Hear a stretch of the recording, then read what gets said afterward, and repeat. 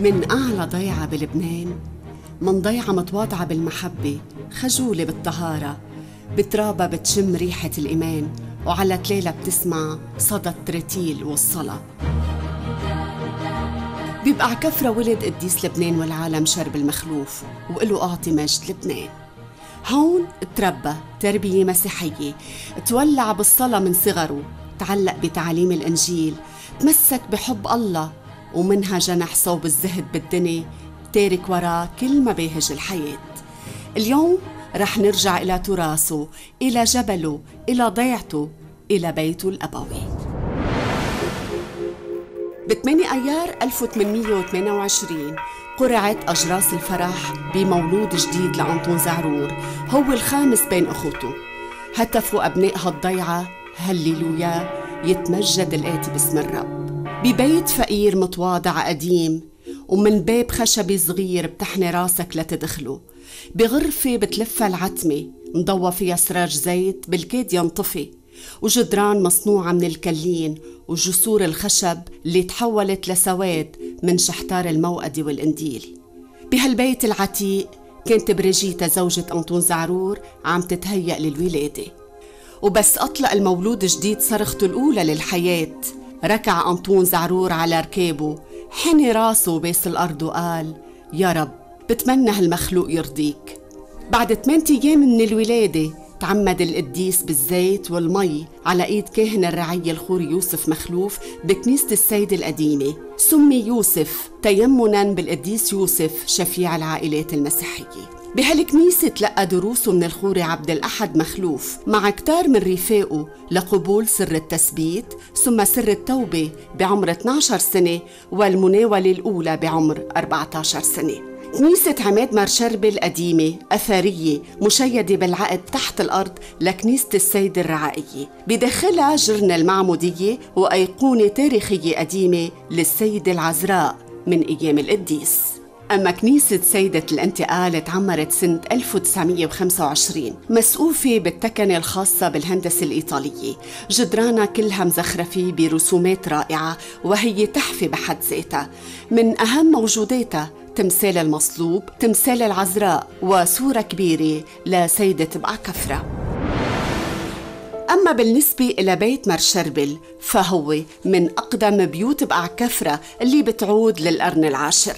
من العام 1950 أصبح البيت بعهدة الرهبنة اللبنانية المارونية اللي انتسب إليها شربل. هالبيت هو أقدم بيت بأعلى ضيعة بلبنان والشرق بيتألف من طبقين. الطابق الأول كان مخصص مثل بقية البيوت القديمة للبقر والحيوانات والعلف والمحاصيل الزراعية. واليوم تحول لمتحف بضم منحوتات لأفراد عائلة القديس وتماثيل للسيد المسيح مع تلاميذه والأواني الفخارية اللي كانت تستعمل أيام القديس وشهادات حية لأشخاص نالوا نعمة الشفاء. أما الطابق الثاني فكان مسكن للعيلة هون خلق شربل وأبصر النور وتربى تربية مسيحية. تحول بيت القديس لكنيسة تقام فيها الصلوات والأداديس يوميا وهي مكان للتأمل والصلاة والعودة إلى ينبوع الإيمان. مسكن العيلة كان مؤلف من غرفة واحدة تستعمل كغرفة جلوس وغرفة نوم ومطبخ. بزاوية البيت كانت تنوضع الكواجر وهي أواني بينوضع فيها القمح والحبوب. أما الخوابي فكانت تستعمل لوضع الدبس ومبيد والعرق والزبيب. بصناديق الخشب كانت تنوضع الفواكه المجففة. أما الأورمة فكانت تنوضع بمسمنة من الفخار. من الأغراض اللي كانت موجودة بالبيت اليوك اللي كانوا يوضعوا فيه الفرشات بالنهار. على المدخل قرب الباب منلاقي طاقة. هالطاقة مخصصة لوضع الجرة أو البريق داخل البيت في كوات كان ينوضع فيها قنديل الزيت وكتب الصلاة. من ضمن هندسة البيت الأساسية المذبح الموجود بواجهة البيت وهو كناية عن رف لوضع صورة العذراء مريم وكل القديسين. قدام البيت في عريشة هي امتداد للبيت بأيام الصيف. كان شربل وأهله يناموا تحتها ومنها كانوا يصنعوا مبيد والعرق والزبيب العريشة ما زالت آثارها لليوم والبيت بعهدة الرهبنة اللبنانية المارونية للمحافظة عليه. بمرحلة أولى ما بين 1953 و 1955 أجرت الرهبنة ترميم على البيت. وب 24 آذار 1955 وافق البطريرك أنطون عريضة على إقامة الذبيحة الإلهية بداخله. باليوم الثاني دشن البيت بالقداس الإلهي اللي ترأسه الأب مونس عزار. من وقتها عم يتهافت المؤمنين والزوار والسواع على البيت للتبارك والحصول على النعم. وحدثت أعاجيب كتيرة وشفاءات تشهد عليها رزنامة الدير بجانب منزل القديس بنت الرهبنة ديرة على اسم القديس شربل. بضمها الدير كنيسة كبيرة تقام فيها الأداديس لعدد كبير من الناس مزينة بصور رسم إيد بتمثل كل صورة مرحلة من مراحل حياته من عمر الطفولة إلى عمر الصبا والشباب وكلها بتدل على روحانية القديس اللي عايش طول عمره سكران بالله. بهالدير في متحف للتذكارات بيحملها معه الزائر ذكرى لكل العمر. بساحة الدير بيرتفع تمثال كبير لشربل مصنوع من الحجر الصخر الأبيض بيطل على أجمل المواقع الأثرية والدينية.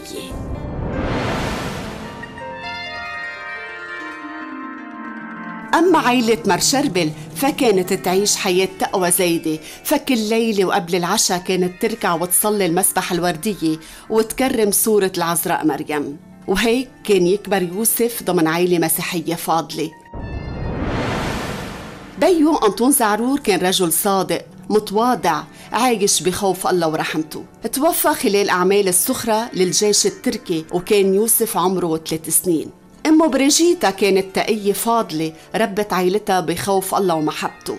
بشارة الابن الكبير للعيلة كان محب يساعد الفقراء ويشتغل بصمت. عينته السلطة البطريركية وكيل للوقف. أما حنا الخي الثاني ليوسف كان متسامح صبور. رعى عدة مصالحات بضيعته وسعى لإعادة ترميم كنيسة مرسابة. أخته كون كانت امرأة صالحة تزوجت من أحد شبان بقع كفرة وأنجبت عائلة مسيحية.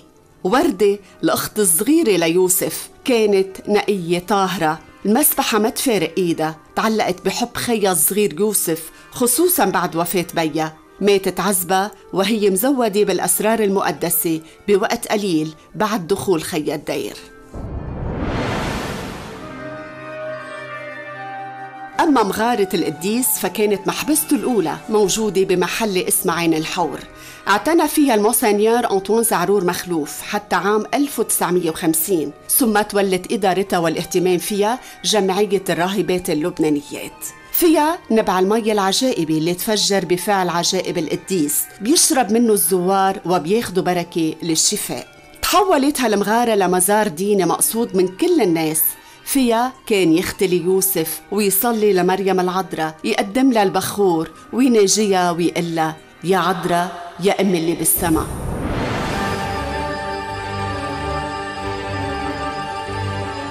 من الأديرة المهمة ببقع كفرة دير مرحوشة بالموجود بمحل اسمه الوطا. دير قديم جدا سمي على اسم القديس أوسابيوس شفيع أمراض الملاريا. بني هالدير على أربع مراحل ورمم عدة مرات إلى جانبه كنيسة عمرها لا يقل عن ألف سنة. هي أقدم كنيسة بهالجبل الماروني. فيها تعلم يوسف الكتابة والقراءة باللغة العربية والسريانية على إيد أستاذه الخوري مبارك مخلوف. وكان القديس بوقتها يلبس الشروال واللبادة ويحمل حمال بداخله كراس الطوبة والمزامير. يقال إنه بعمر الشباب كان يوسف يتردد لزيارة إخواله الحبسة بدير مرمطانيوس أصحية ويمشي من بقع كفرة ويقطع مسافات طويلة حتى يصلي معهم وياخد مشورتهم. ومع كل زيارة كانت تترسخ براسه فكرة دخول الدير وخلاص النفس. وبالختام منقول طوبى إلك يا مرشربل عرفت كيف بتخلص نفسك. هنيئا إلك يا بقع كفرة بقديسك لأنه أعطى لبنان والعالم مجد عظيم.